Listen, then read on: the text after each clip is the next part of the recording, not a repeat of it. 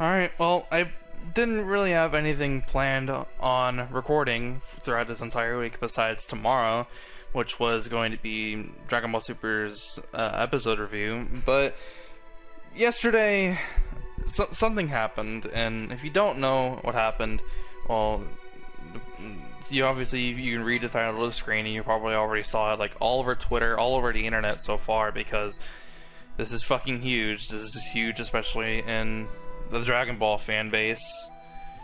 I, I, I have, I don't, I had no words to say other than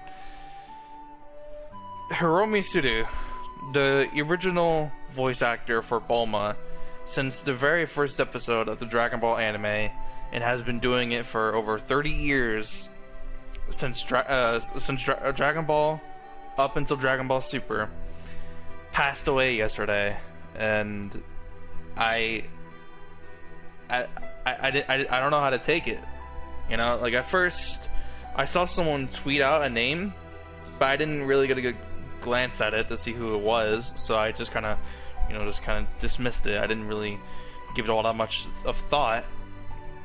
Uh, I wake up uh, later in the next morning, which is Friday, uh, and then I see Geekdom's uh, stream, and it was a tribute to Hiromi Tsuru, and it was the voice actor for Bulma, and I, I don't know, I, I just, the whole fan base is freaking out right now. Everyone's em emotionally affected by this because this, this is, this is Bulma, you know, this is the original Bulma. This is the person that has been doing Bulma for years and years, and she's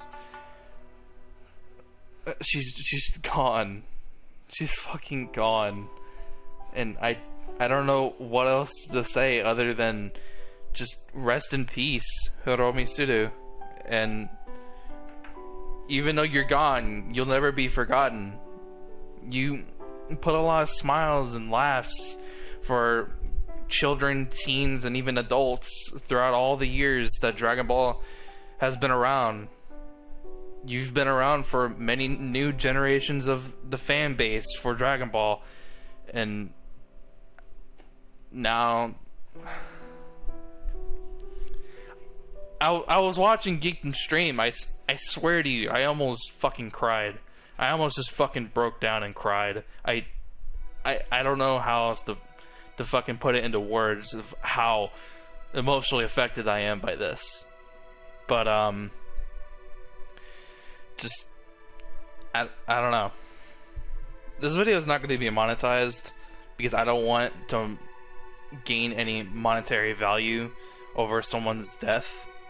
But I just wanted to give some just some quick words for my own personal thoughts and how I personally feel affected. I just I didn't want to take too much of anyone's time. Uh, enough people already in the fan base are, you know, extremely upset that this happened. But I'm just gonna go ahead and lead the video off with a moment of silence.